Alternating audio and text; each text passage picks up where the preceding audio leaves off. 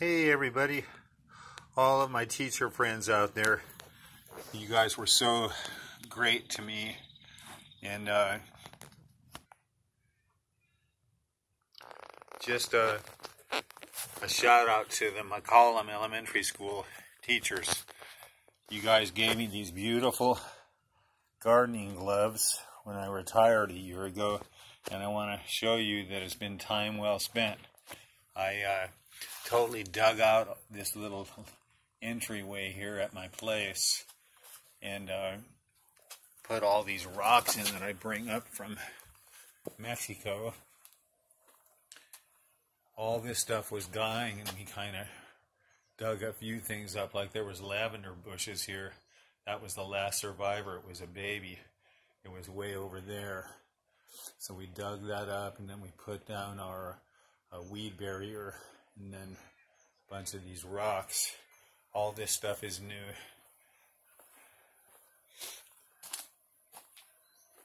Anyway, just coming through here. The really great part of this is uh, that I wasn't really doing much gardening before, just some landscaping projects and stuff. So these gloves were so comfortable, just didn't want to take them off. So decided to try my hand at pumpkins.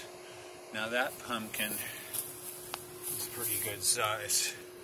This pumpkin is probably 40 pounds. Other one here is a little bigger. My neighbor grew a 300 pounder with it, these seeds a few years ago. A friend of his grew a 900 pounder with it. So this is my little pumpkin patch here. All these lily of the Nile over here I've been digging up and they kind of took off and went wild but I've been moving them all around the place here. Here's my pesto, basil for my pesto. I just trimmed it about a foot this week and made oh, a couple pints of pesto, walnut pesto. Tomatoes still aren't coming in. These are early girl tomatoes. They'll be nice. They're coming. Got a lot of fruit up in here. Anyway, I built this little compost pile. I put straw down. Uh, it's rice straw. Just kind of keeps a little permaculture kind of deal where it keeps it, the soil moist all the time. This fig tree was back there where that structure is. So I dug it up. It had roots going under the sidewalk back here. But uh, I dug it up, moved it over here about a month ago, and I used all this potting soil I get. I get free potting soil over at this place. They recycle it from all the hemp farmers. So uh, you can go get, bag it up yourself. You got to shake out some roots. But uh, anyway, all this stuff back here, we're working on a bunch of new pots back in the corner there.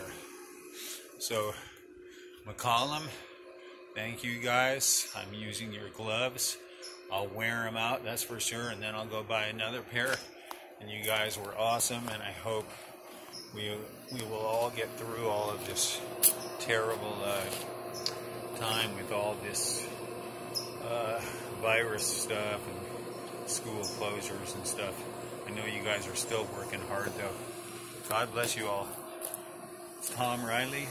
I'm giving you a shout out and thanks again. Oh, wait a second.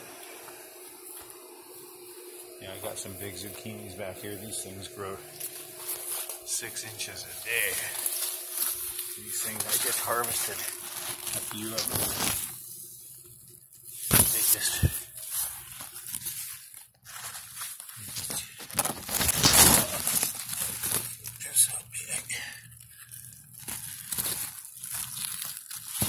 Anyway, I got three of these.